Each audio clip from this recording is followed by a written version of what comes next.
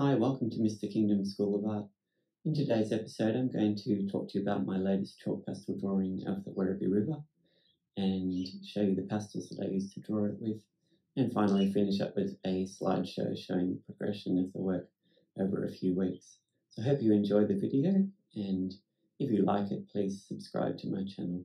Thanks.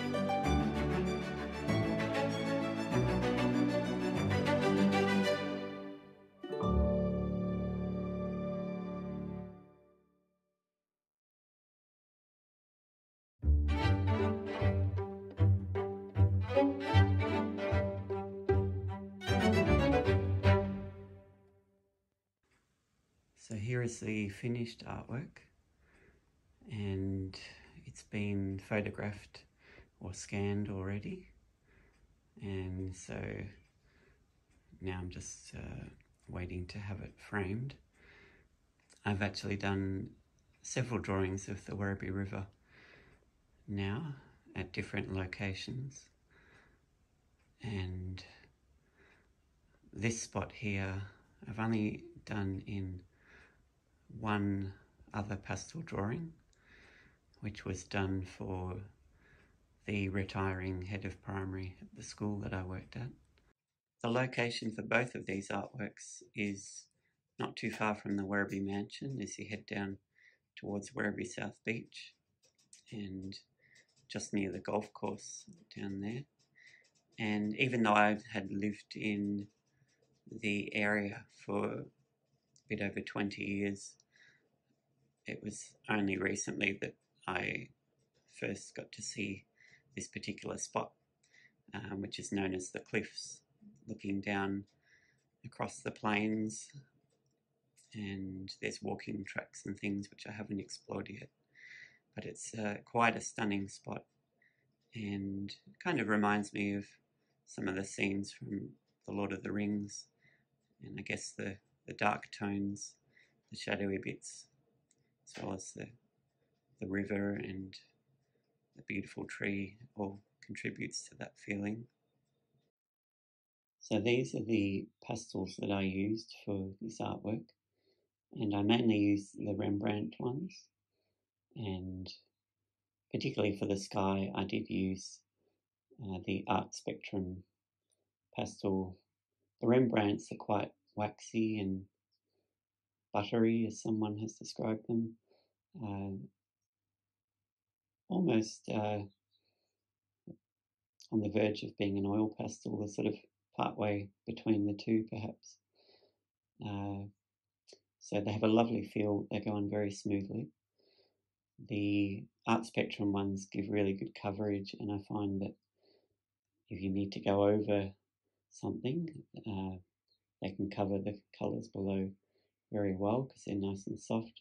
They are a bit more crumbly though than the Rembrandts, and uh, so I prefer to use the Rembrandts for, for most areas and then use the Art Spectrum ones for, for some highlights. So both have their purpose and both are useful in their own way, uh, but for the general feel, I do enjoy the Rembrandts. The style of this one is probably a little bit more impressionistic. It wasn't necessarily the style I was going for, but uh, it just transpired that way. I do admire some of the Impressionist work though, especially Monet's.